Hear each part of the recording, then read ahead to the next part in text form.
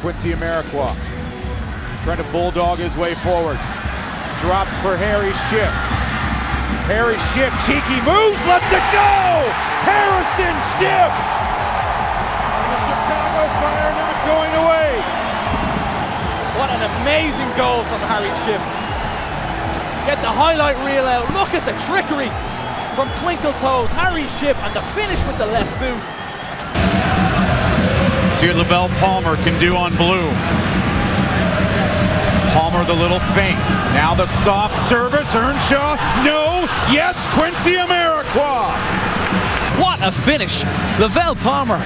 We talked about committing to getting forward, committing to it. Robbie Earnshaw unlucky with the bicycle, and that is clinical.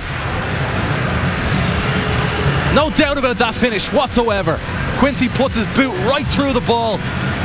Conviction from Amarikwa late on.